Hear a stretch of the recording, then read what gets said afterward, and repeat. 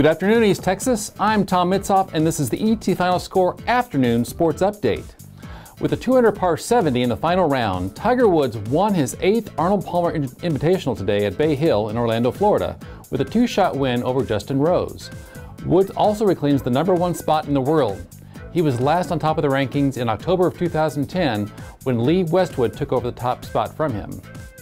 ESPN is reporting today that the injury racked New York Yankees are close to a deal with the Los Angeles Angels of Anaheim for outfielder Vernon Wells. The Yankees will start the season with outfielder Curtis Granderson and infielders Alex Rodriguez, Derek Jeter, and Mark Teixeira all on the disabled list for extended periods. Wells would give the Yankees the potential for some right handed power, though he has slumped badly in the last two seasons with the Angels. Justin Doherty of Springfield, Missouri had a very happy birthday on Sunday. His girlfriend bought him tickets to the Oklahoma City Thunder versus Portland Blazers game in Oklahoma City, and then he hit this midcourt shot for a $20,000 prize.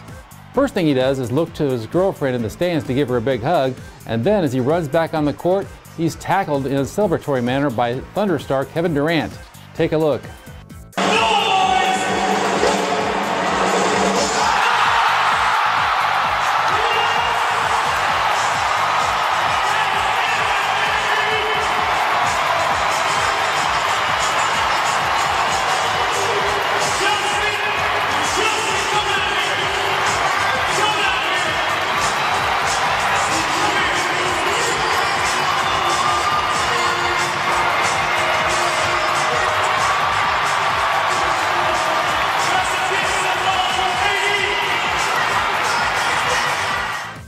Our Focus In on .me sports photo gallery of the day was taken by our Troy Hayes at Saturday's East Texas Bombers versus GRITS roller derby match.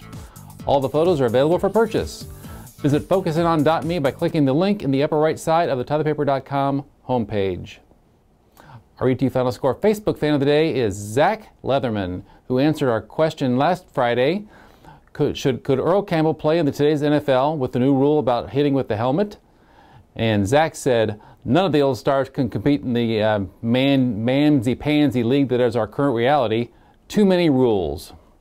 You can be our ET Final Score fan of the day tomorrow by visiting our Facebook fan page and answering today's question Will the Florida Gulf Coast Eagles win any more games in the NCAA tournament, or will their Cinderella run end?